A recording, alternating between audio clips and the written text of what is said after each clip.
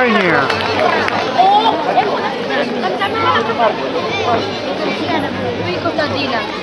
And now we are going to watch the Ukrainian national folk dance ensemble Slavutits performing dances from their country. Το Ουκρανικό Εθνικό Λαογραφικό Χορευτικό Συγκρότημα Σλαβούτιτς ιδρύθηκε το 1980 στη Ζαπορόζιε της Ουκρανίας, την πατρίδα των Κοζάκων, την πλούσια σε ουκρανική λαϊκή παράδοση που βρίσκεται στην νότιο-ανατολική Ουκρανία. Δύο χρόνια αργότερα, η ομάδα κέρδισε το δεύτερο και το τρίτο βραβείο στο Φεστιβάλ Εραστεχνικής Δημιουργικής Τέχνης της Σοβιετικής Ένωσης.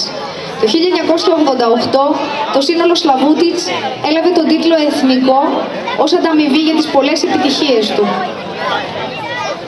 Είναι μια ομάδα ειδικευμένων χορευτών και μουσικών οι οποίοι παρουσιάζουν ουκρανικούς παραδοσιακούς χορούς, φορεσιές και μουσική σε συναυλίες, σε ειδικές εκδηλώσεις αλλά και σε διεθνή φεστιβάλ.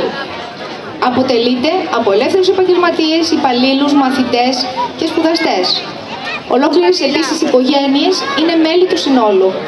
Το σύνολο διαθέτει ορχήστρα παραδοσιακών οργάνων που περιλαμβάνει βιολί, τρομπέτα, φλάουτο, κρουστά, κοντραμπάσο, μπαγιάν και μπουμπέ. Μαέστρος της ορχήστας είναι ο Βίκτορ Μαξιμέγκο.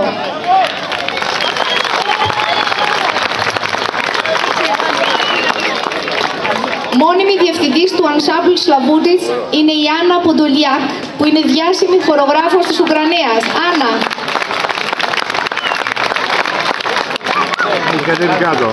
Όλα τα κουστούμια τους είναι αυθεντικά.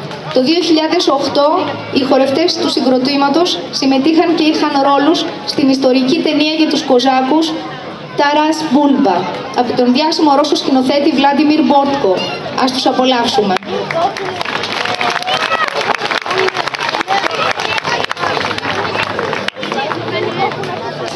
Ναι, ναι, ναι.